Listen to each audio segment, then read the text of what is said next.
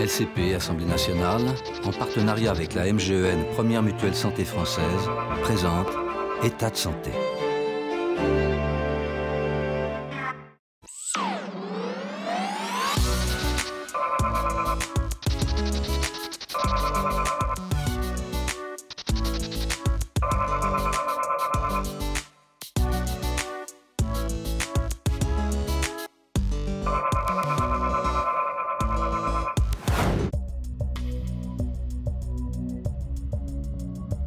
Bonjour à tous, plus de deux femmes sur trois ont recours à l'IVG au moins une fois dans leur vie. En France, l'avortement est un droit acquis depuis 1975.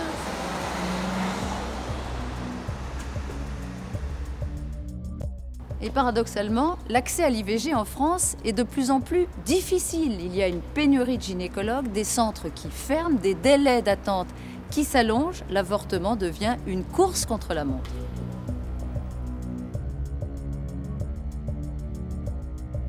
D'autant qu'elle reste mal vue par le milieu professionnel, certains médecins refusent de la pratiquer.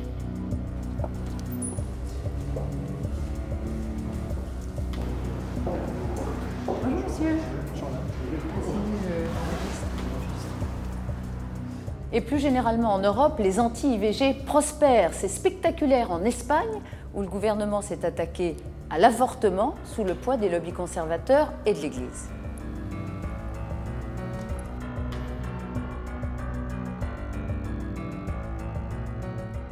40 ans après la loi Veil, pourquoi faut-il encore aujourd'hui se battre pour garantir l'accès des femmes à l'IVG Najat Vallaud-Belkacem, la ministre, est avec nous. On va lui poser la question.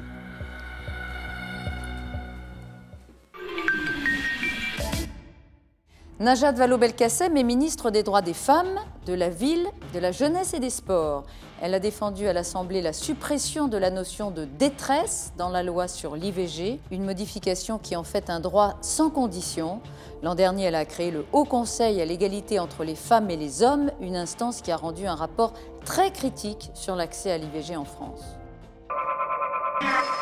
Bonjour Najat Vallaud-Belkacem. Bonjour. Merci beaucoup d'abord de nous recevoir dans, dans ce ministère. Euh, on va tout de suite entrer dans le vif du sujet. Euh, L'IVG, l'interruption volontaire de grossesse, est-elle un acte médical comme un autre?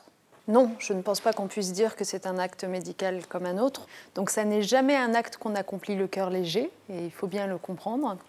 Et en même temps, lorsqu'une femme prend cette décision, il est euh, particulièrement euh, cruel et difficile de venir l'entraver dans la mise en œuvre de sa décision, puisque justement, elle a pris le temps d'y réfléchir.